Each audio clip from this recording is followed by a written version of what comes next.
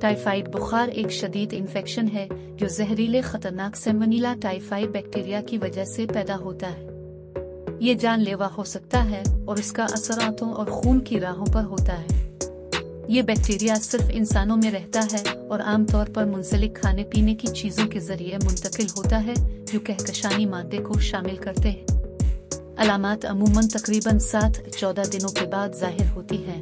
दिन में बुलंद बुखार थकावट सर दर्द मतली पेट दर्द और मुमकिन दस्त कब्ज शामिल हो सकती है। शदीद मौाक़े में हाल में एक रश भी तश्कील हो सकती है और तशद के मामला मौत की तरफ़ ले जा सकते हैं। कई कम और दरमियाना आमदनी वाले ममालिक में टाइफाइड बुखार एक बड़ा सेहत की परेशानी है, जो सालाना लाखों की तादाद में केसेस और हज़ारों की मौतों का बायस बनता है।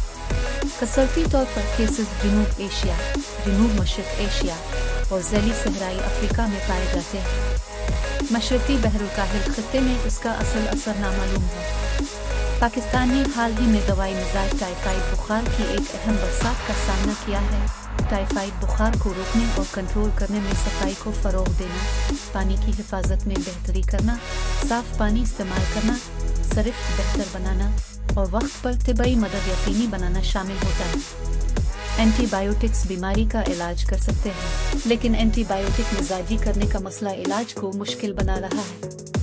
टाइफाइड के खिलाफ वैक्सीनेशन एंटीबायोटिक का इस्तेमाल कम करने में मदद फराहम कर सकती है और मिजाज को आहिस्ता आहिस्ता पकड़ने में मदद दे सकती है।